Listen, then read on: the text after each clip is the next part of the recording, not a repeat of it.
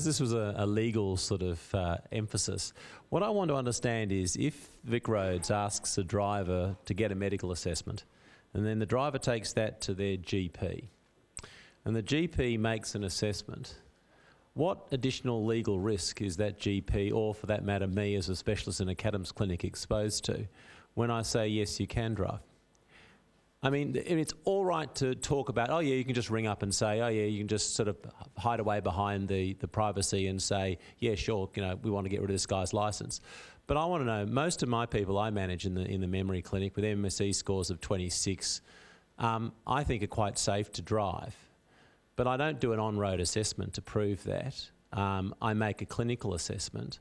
And until the rules have just changed, it was the, the Austroads rule said if there was an impairment sufficient to interfere with driving. Now it's no, can't have an unconditional license. You've got to go and get a conditional one. I want to know what exposure we have now as medical practitioners if we don't do an on-road assessment and we say they're safe to drive, not what exposure I have if I say they're not safe to drive. I'll, um, I'll talk first and then hand over, over to Morris. Um, when you're filling out that medical report form, you, you, you're not saying fit to drive, you're saying it meets the medical guidelines for fitness to drive or, or doesn't and then Vic Roads is making a decision. You can tick the box to recommend an, an OT on-road driving test, but at the end of the day, we're weighing up the information on the medical report with all the other information we have, be it a police report or whatever else came in, and working out whether that person needs to go for an on-road test or not. Sometimes there's conflicting information. Sometimes the re police report will come in and say that this driver can't drive to save themselves, and the medical report comes back, everything's fine, hang on a minute, and in that case we'd probably do an on-road test. But uh, yeah, you're, you're, not making the decision on fitness to drive. Uh, we are. You're just saying, do they meet the medical guidelines for fitness to drive? In other words, is there anything wrong with this person that you think is, is not going to is going to be able to affect their driving?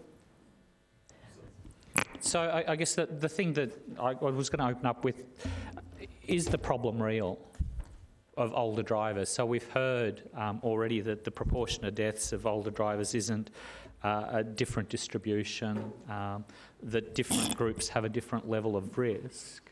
Is it that we're just worried about the legal consequences? Um, uh, and is that what Mark Yates has articulated for us? Is that you know, we're very nervous about driving because should something go wrong, we'll be held to account as the, the health professionals.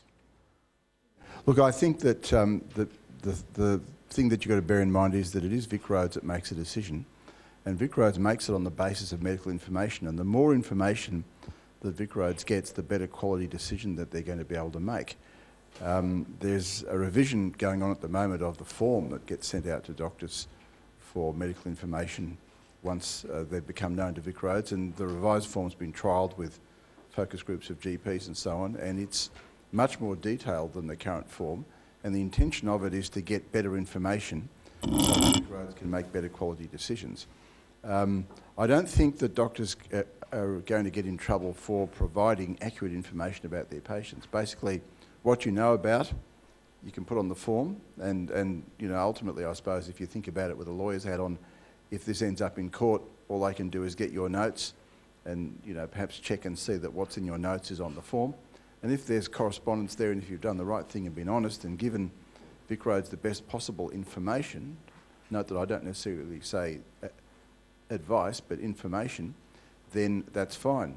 People get into trouble for not disclosing appropriate information. That case in 2006 um, in New South Wales uh, was a case where a doctor told the patient something but didn't tell the, the um, licensing authority the same thing. And where that sort of thing happens, then obviously you can get into a bit of trouble about it. But um, I think that if you do the right thing and provide as much information as possible, and, and that might mean getting a phone call from someone like me to discuss it, then uh, doctors aren't putting themselves in danger, or in fact, any other health professional is not really putting themselves in danger.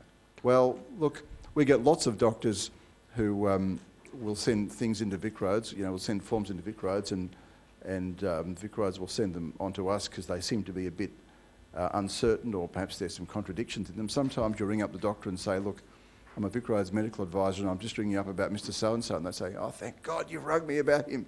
You know, he shouldn't be driving. Why didn't you say so? Well, he was sitting right in front of me at the surgery and I really didn't feel I could. So, you know, sometimes people write I would be happy to discuss this in person if necessary. We see that as a code for please ring me up and get the real truth about things. The other, um, the other um, um, areas where we get to talk to doctors is where doctors actually do ring us up and they get given our phone number by Vic Roads Medical Review. There's a phone number on the form that you know, people can always ring up Vic Roads Medical Review and if they want to talk to us, they can be given the number and we're totally happy to answer any questions. Well, my doctor's been my doctor for 20 years, so I don't think he's nervous at all. Would you go back and see him if he, well, if he, Yes, if if you disagree with his reporting you to, to Vic Yes, Roads? I'd still go and see him. I'm one of four lead clinicians in cognition in town. And I've got a 65 year old farmer who lives out uh, the bush who's got an MSE score of 26. He's still harvesting and he's still doing all the things he wants to do. And I've said, I don't think you need a driving assessment at this point. Where do I stand? If he then had an accident, might right now, and I, so I'm at here. I'm maybe am I out on a medico-legal limb right now? He goes and has an accident. Stop there, let's, Where, where am I?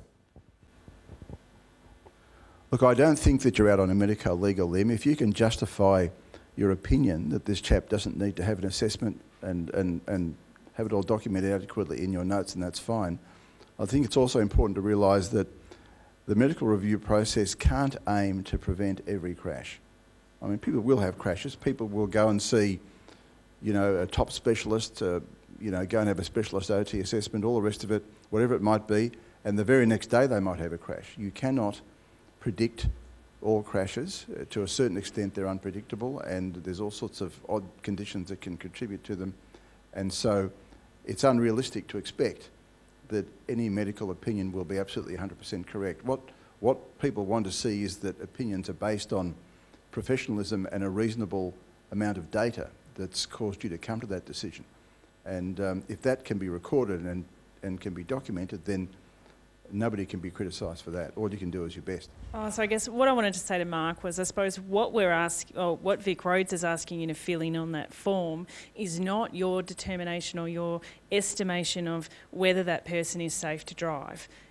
It's not re- I know it. It seems confusing because you are making an assessment or. Um, about the person's skills in relation to driving, about their medical conditions that could impact on driving, but that ticker box thing at the bottom that I know raises the anxiety a lot, which basically there's two questions that say you have to complete both of these questions. One of them is Does the person meet the medical guidelines to drive a car?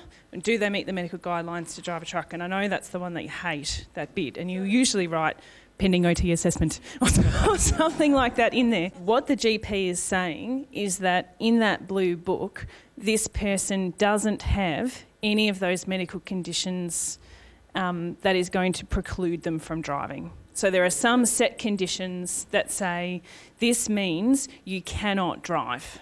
And so the doctor's role is to find those people and say, according to that blue book, do they meet the medical guidelines to drive? Not, I'm guaranteeing by signing this form that they're never going to have a crash for five years. It's not the same thing. If someone has a dementia, now we, we're taking a unitary at the moment form of dementia because that's what the that's what Austroads has said. Any dementia doesn't matter whether they've got an MSC score of 30, as long as they've got a memory problems, there's an abnormality in one cognitive domain, however mild, you know that's a dementia in in, in medical language, and and they're saying then that's a an un, there has to be a conditional license only. And I'm expected to tick a box. The whole reason, I, these people haven't got anything wrong with their eyes, no, diabetes, no cardiac failure, not had epilepsy, not anything else. The only reason that there's a concern is because they have a dementia. Isn't that as equally as a medical condition as much as cardiovascular is anything else? So then you still have to tick the box to say that, that they have they meet the criteria. If they want to say they meet the physical criteria to drive rather than the cognitive criteria, I'm happy with that. But on the one hand, I'm asked to say they can drive. On the other hand, that they um, or they're safe to drive. On the other hand, I'm saying I want an OT assessment. But to me, that's not the problem because I'm the time problem I have is that it goes round in jolly circles. If I say I want an assessment, you know, or is I write to Vic Roads and say I think this person is unsafe maybe, it, going it comes back round again to say, can I see a geriatrician? Well, who is it going to be? Is it going to be the other person who sits in the desk, desk beside me? Because there's only about two of us in town who can do it. Um, you know, particularly if it's cognitive as opposed to anything else. And the second question is, and I come back to it, is it's, I mean, let's talk about the evidence about which cognitive assessment I'm going to do that actually makes an, uh, an evaluation of someone's driving. Is it going to be Trails B? Is it going to be a uh, free recall test? I- Is it going to be a visuospatial test? I mean, I do those in global assessment, but M- we know we already know that the MMSE score. You know, nobody could make a rule. The London, the, the- was it the the Lundberg group, said, okay, an MSE score of less than ten, no driving. I think I could probably cope with that. But after the MSE score less than 10, it wasn't clear whether it was going to be 18 or 26 or anything else. Um, you know, then they said, well, maybe it's 26 plus another neurological condition. You should get it, get it reviewed by a specialist. Well, I, I need to understand, and I think that we're going to all need to understand, which cognitive tests we can do, other than a, an on-road driving, because there aren't enough OTs in the world to do it. Um, we can use to make that evaluation. And what are the lawyers going to say at the end of it? I mean, I think you're right, Morris. I, I'm, I just hold out my hat, hopefully, that there's a professional acceptance of the fact that we're doing what we can within limited, limited, limited evidence. But I'm not sure that a lawyer in a court is necessarily going to want to accept that when they're working for a plaintiff. There's a difference between, firstly, there's a difference between working for a plaintiff and the criminal jurisdiction. In criminal jurisdictions, it's much more black and white and it's got to be beyond reasonable doubt and it's going to be very hard to prove. Um, in a civil case where you're being sued for damages, well, it goes on the balance of probability. And if you can argue um, about the probabilities of your decision and about how you came to them, then, then that should be enough to get you out of trouble, bearing in mind that you can never predict the outcome of a court case. I think um, there's also the issue of, of, sort of medicine as an art and as an overall assessment of a person. I mean, you can do as many tests as you can and get numbers at the end of them and scores, but ultimately part of that has got to be your own impression of a person coming from years of experience as a specialist in the field, seeing people with cognitive deficits all the time. And, you know, you do get a certain um, part of that which is, you know, something that you can't easily quantify.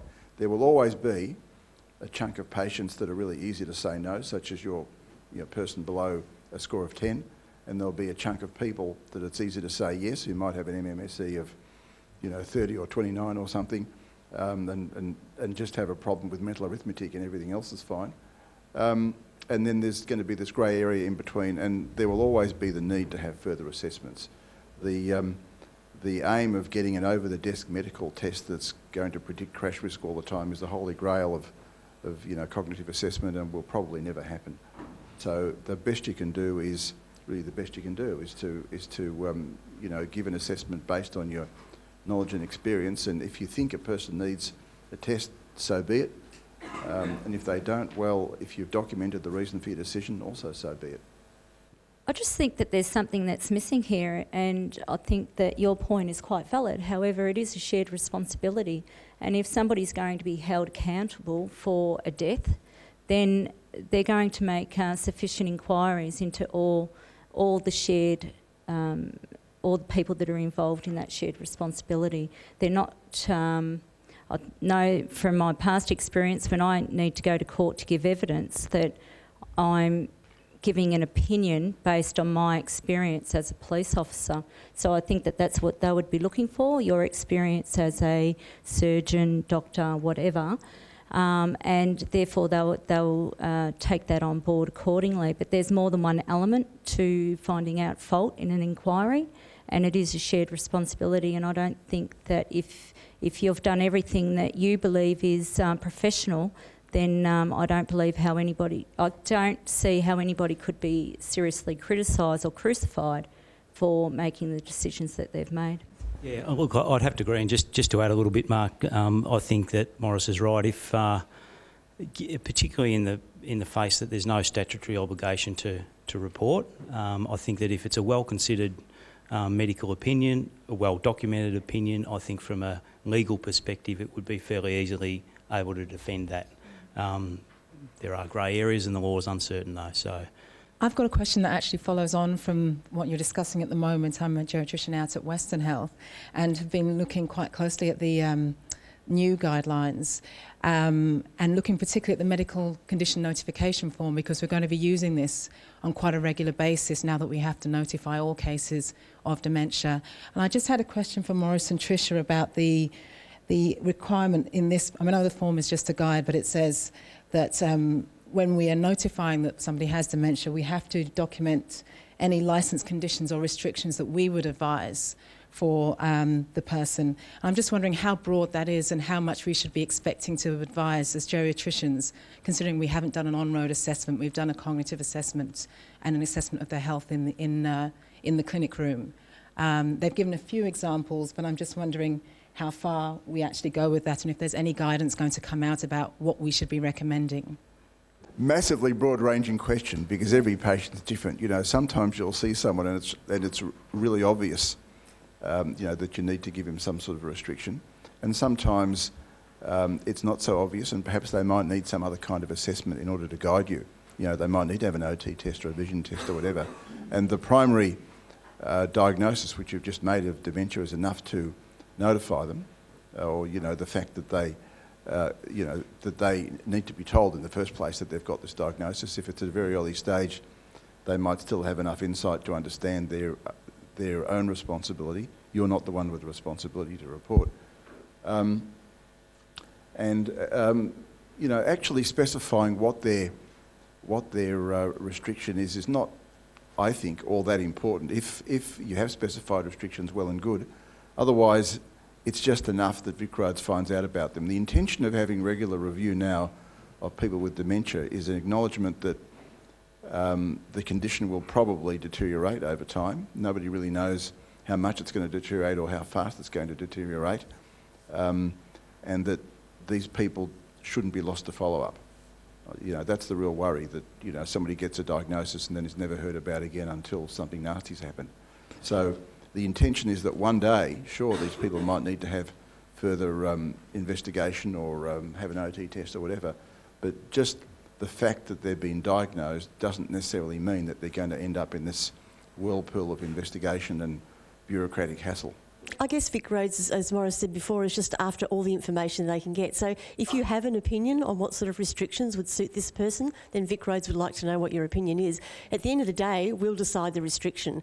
I mean, you could tick, you, know, you might tick um, OT uh, test not required, but we might decide it is, and vice versa. Um, and yeah, so I think uh, if you you've got insight into this person and you think that perhaps uh, it's early onset dementia uh, at this stage, and that surely uh, you know, be safe to drive in their own area, but perhaps you wouldn't like them driving to Melbourne, then, you, then it's a recommendation that you can make to Vic Roads. But at the end of the day, Vic Roads will decide what sort of restrictions they have, but they are interested in your uh, medical opinion. You might get a phone call that says, well, you know, we've got five police reports saying that this person's been having little bingles, you know, that aren't necessarily known to you at the time too.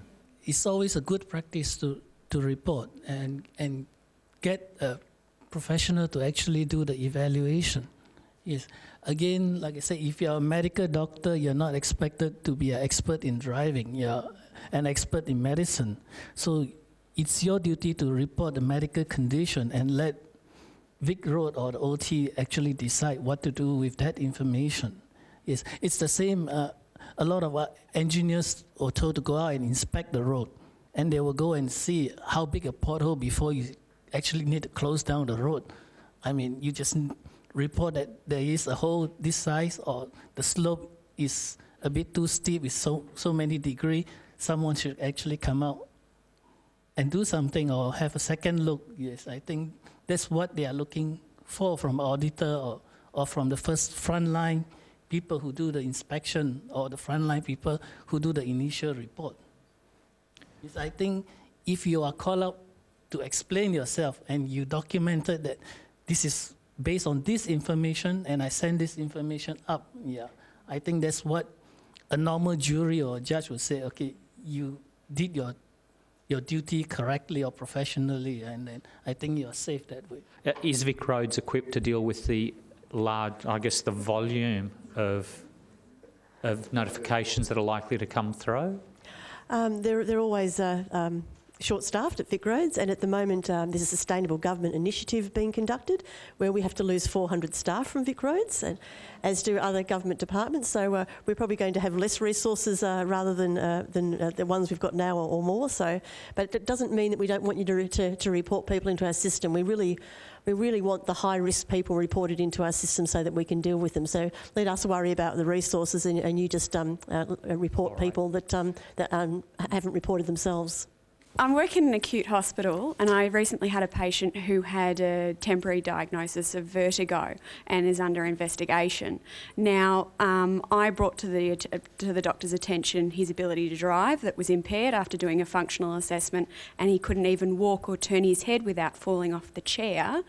Um, so I, I, the recommendation was made that he temporarily stop driving until a formal diagnosis had been made. He was non-compliant according to the social worker. Where do my where, where do my obligations stand when it is a sort of an acute diagnosis? It hasn't a diagnosis as such hasn't been made. Um, you said to report things that are major medical conditions. If something like vertigo that doesn't have a, a cause um, or a label attached to it, what, what, where do I stand? I have to say that as a member of the Victorian Police Force, we've got a very thankless job, which I'm sure a lot of doctors and surgeons have as well. And the one thing that we're taught from the very first day that we walk into the academy is to keep good notes. And I think that the elephant just walked out the room with me just saying that because if you've written, if you, you are keeping a, a very good diary, there is not one person that could come back and criticise you if you've done the right thing and you've kept notes about it. Uh, uh, the thing that worries me is that we're so concerned about our professional responsibility. We're not thinking about the person's leaving the hospital, has got vertigo, is going to drive. I've written all of my notes and I've notified Vic Roads by post. And I said, oh, the, the GP will take care of it. And then I'm sitting thinking, oh, lucky I don't live in town. And yeah, yeah, can I call the? What do I? What do I do then? So so do I call the police and how much more work does that make for you? You're well within your rights to do that. Like as a, um, health professional, if somebody's left your office and you've got some grave concerns in regard to how that person may behave on the road, um, as a police officer, we will attend to that um, call. Um, our power to take them off the road there and then is probably um, non existent. However, we can push it up with that licence review and try to start the process in regard to getting that person off the road. Um, if they're a danger on the road, we can certainly um, uh, we can.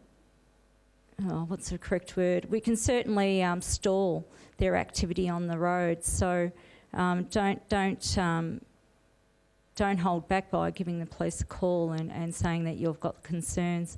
Um, the other thing too, I guess, is the other people on the road that, that, that may be endangered by that person's um, behaviour or driving ability. Um, that's obviously of a concern as well. Um, nine times out of ten, if um, they've left the, the clinic or, or surgery and um, you've made a phone call and we've gone around to investigate it just to do a welfare check, if not anything else, um, that nine times out of ten will probably um, intimidate that person to the point that they may think that the risk is higher than the actual gain. So um, it, there, there's no right or wrong answer in regard to any of this. However, you've just got to do what you think is best at the time, back your judgment, and keep notes. Yeah, can I just add to that? Firstly, I mean, I, I, a thousand percent endorse the comment about keeping notes. You, you must keep good notes. It's the, the best protection anybody can have. Just write it down. So many times we see crappy notes, you know, it, and in, you know, serious cases where there are serious medical issues in all sorts of forensic and police cases. And, um, you know, could all have been avoided by just writing it down properly. And, you know, I think sometimes using computerised notes doesn't help because people tend to not write as much when they've got to type it into computers, back in the old days when doctors wrote everything down, even if the handwriting was terrible, at least they wrote it down. um, you know, you must keep good notes. As far as people with an acute disability like this is concerned, the section of the Road Safety Act about notifying conditions really applies to long-term chronic conditions. But if Vic Roads gets notification, especially from a health professional, um, that a person's not safe, they can act quickly to suspend a licence. I don't think they can act instantaneously. If somebody in the health um, profession sends them a fax that says so so is unsafe, they won't get a fax back by return saying they're cancelled.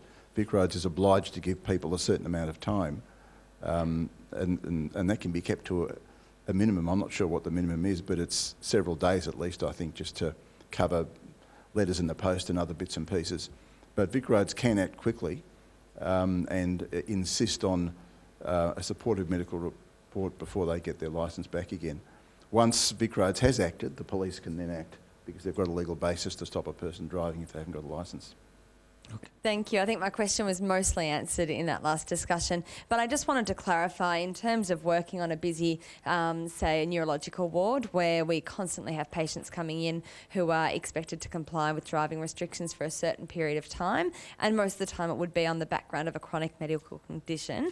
Um, just wanting to check, we usually only fill out this Vic Roads medical form. Sorry, I'm an occupational therapist, and I would only ever fill out that form or request a doctor to fill out that form um, if there were significant concerns about a driving assessment being needed, um, an OT driving assessment, or concerns about a client's capacity and the fact that they won't inform Vic Roads am I okay to explain to the patient their expectations and the legalities of, that they're not meant to be driving, and for them to say, yes, I'll tell Vic Roads myself, and us document that and expect and be happy with them telling Vic Roads themselves. Like, do we do we have to fill out a form for everyone? it just seems like a whole lot more work. If you tell people that they shouldn't be driving or that they need to notify Vic Roads and they're worried, they'll often say, "Oh, that's fine, I'll do it." And, and you can't be certain that they do. Look, if you've got doubts, it doesn't hurt to try and check up. You know, give them a call in a week or two and just say, I just want to make sure. And, and look, if you've got any doubts, you can't get yourself into trouble by notifying Vic Roads. You can't. You, know, you can't be sued. And, and, if, and if you've got good notes, keep notes, make sure you write it all down. And if you really are concerned, it doesn't hurt to send a form into Vic Roads. Sure, as a, a health professional, that you can um, obviously, like you say, if you have doubts, but at the end of the day, if the person's got capacity, it surely is their individual responsibility. Just to give you an example, there was a fellow I saw at St V's last year who was a truck driver who had epilepsy now. He was completely fine when I saw him, but his seizures were coming fairly frequently, and I told him he couldn't drive his truck and he had to notify Vic Roads. He said, Sure, I'll do it, I'll do it. Um, and you know, he had full cognition, but he also had a really powerful motive for not notifying Vic Roads, and in fact he didn't. And I ended up doing it about a week or two later because, um, you know, there was a, a, public health issue concerned. On the issue of documentation is all well and good, but you've still got to behave reasonably. Yeah. And so that if you see a, a, risk to your patient or a risk to the community, I, I don't think that someone's got capacity is enough to um, say that I did everything I could. That, that's not everything that you can. And I think it's about recognising some people need a bit of time to comprehend the idea, the follow up, but we've got to be reasonable through all of this. So, so writing notes saying that I've told him and I'm absolved of it and I know he's just going to, isn't isn't behaving reasonably. And as a health professional, the expectation is that we will take into account both the individual and the community's health. I mean, maybe it's the geriatrician in me, but I, I, I hate to think we lose the patient-centred focus of, of, this discussion. I mean, in, certainly in my experience in the CDAMS clinics, 90% of older people choose, I think there's some evidence about, uh, I don't know whether it's 90%, but certainly a very high proportion of older people choose to stop driving at the right time. Um, and if and so that's the first thing I think we ought to assess. The second thing is in relation to that particular case, you know, the social worker said that so and so was going to drive, you know. How the hell do we know? I mean, and, and so if the, if the patient themselves, if the patient themselves have got insight, I mean, okay, let's try and work out what the patient's background is and let's try and understand the patient a bit more. But if the patient has got capacity and has got insight into the problem, and there are really significant issues for this patient. They know if they turn their head, they get vertigo, but I can drive using my mirrors without turning my head, and this is what I'm going to try and do. and they want to try and do that. What? What about when you turn a corner and you head position? Well, I mean, you know, I've seen a lot of people turn corners slowly, but but you know, if, if, if they if they live if they live up in the country and there's no other way to get some basic supplies, I mean, maybe they shouldn't have gone home in the first place. But I think we've got to be thinking a little bit more around the needs of the patient and try and balance risk. And we do this all the time. That's the question I'm really answering because I think I have to balance risk every day in my CDAMS clinic in relation to driving. And that's about trying to manage the risks uh, of the loss of independence to a person with the potential risk. And all, look, it's small. If you look at the total number of people here, even in total, people over the age of 75 have no more risk than 25 year olds on the road. Um, now, you know, do we take every, do we reassess every 25 year old until they become safe enough to drive? We don't.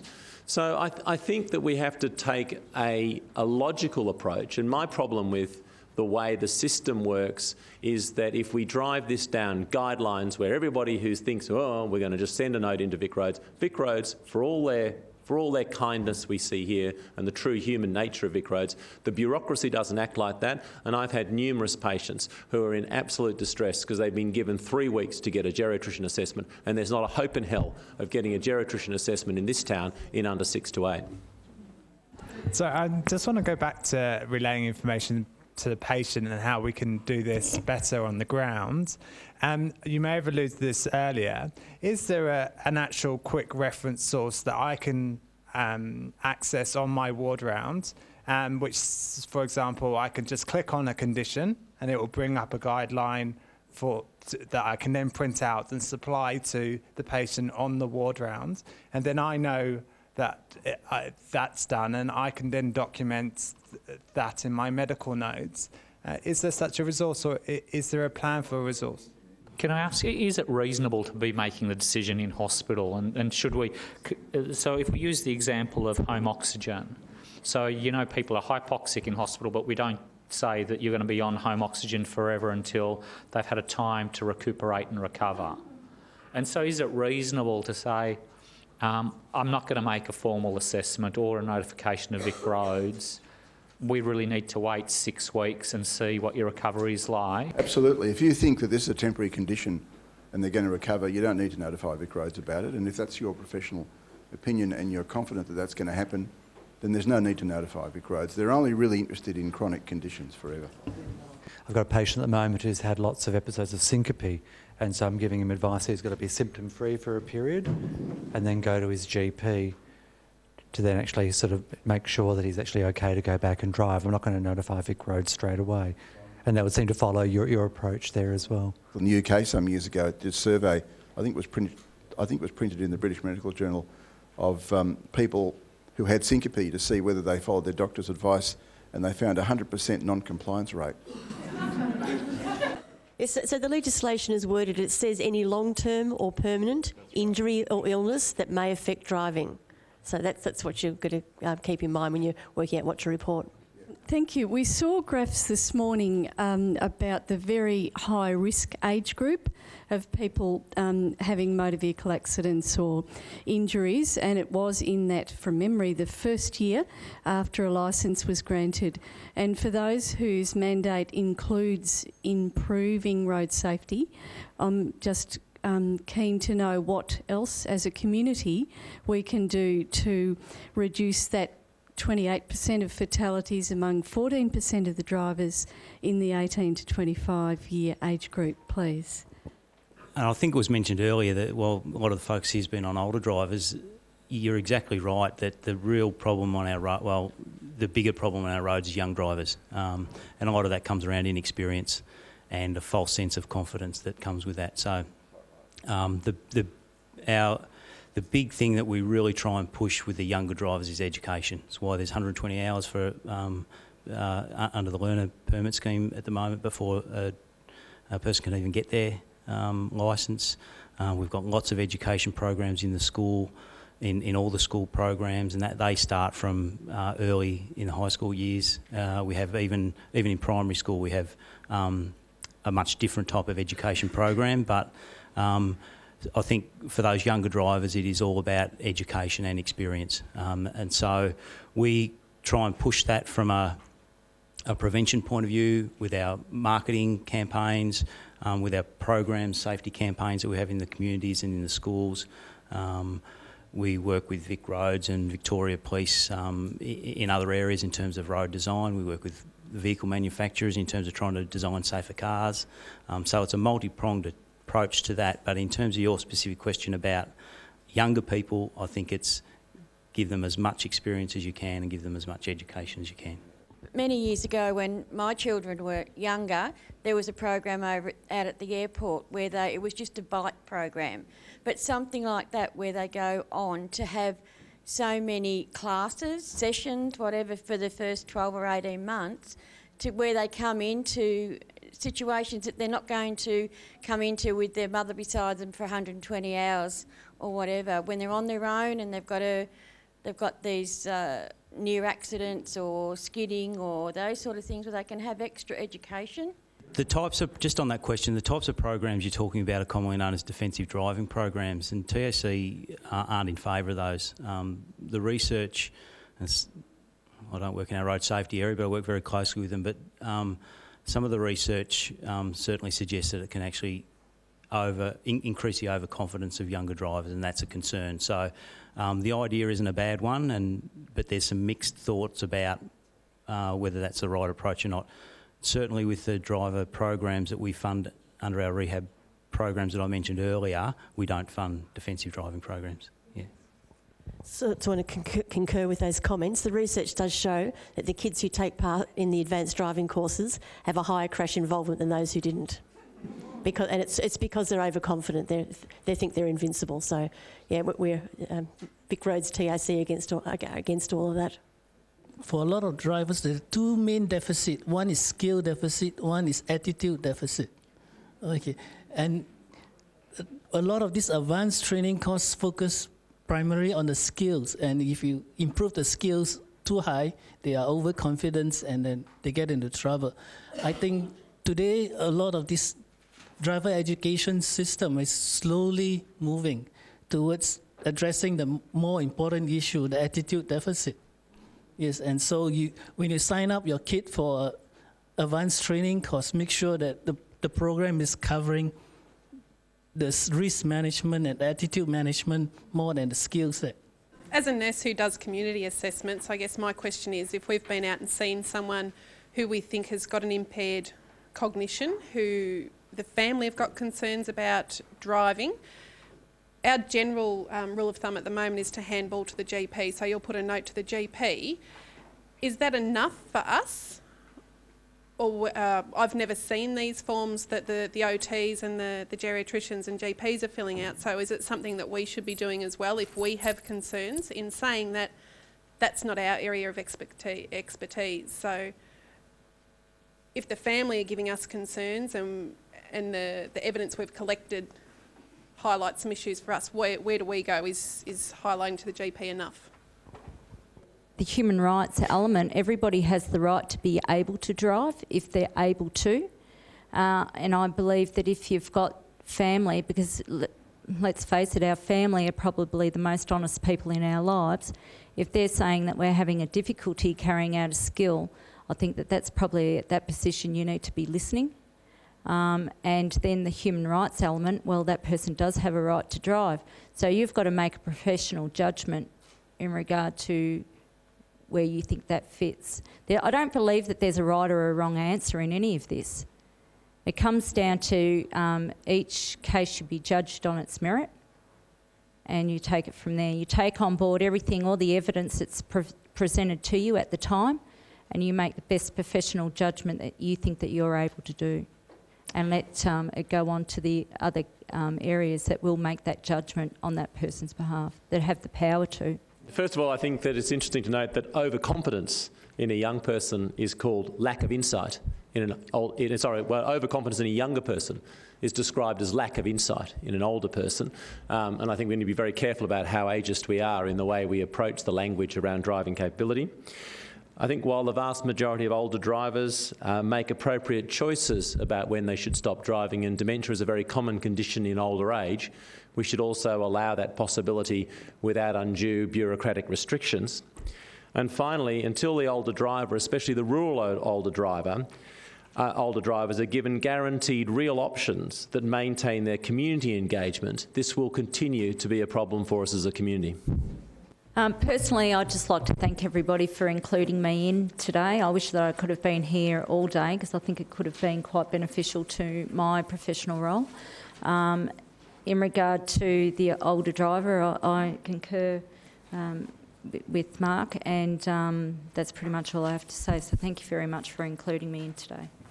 Um, I, I don't envy for one moment the, the work that you have to do and the conflicts that you face in this um, in this area uh, in terms of your the, the confidentiality and the privacy um, obligations you have to your patients, as opposed to the public safety issues that we've raised as well, and the independence and the autonomy that um, patients like Mark has have out in the rural communities.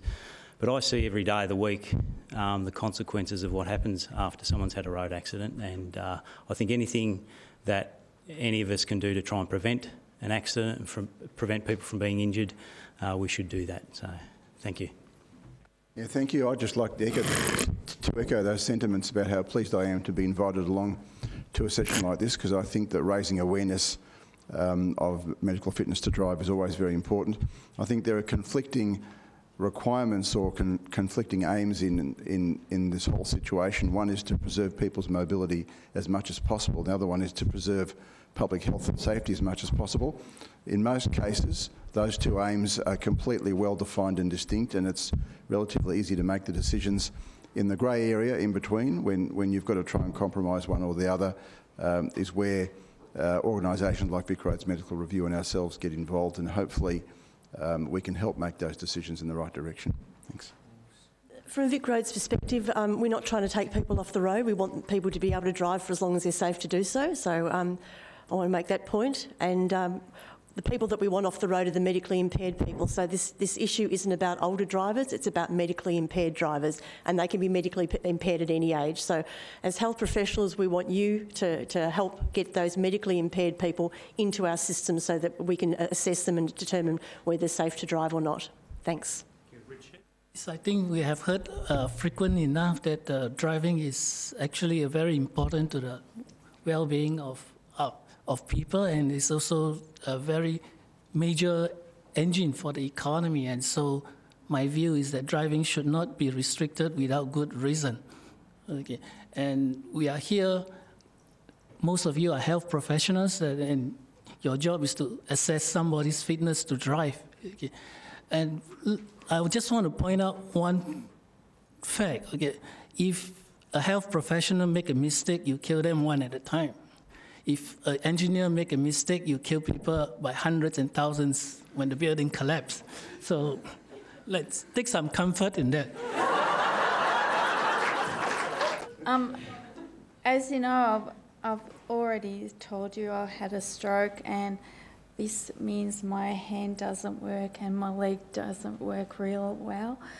The officer came to and told me you have to give up your license for, for six months, which the neurologist explained and my doctor explained.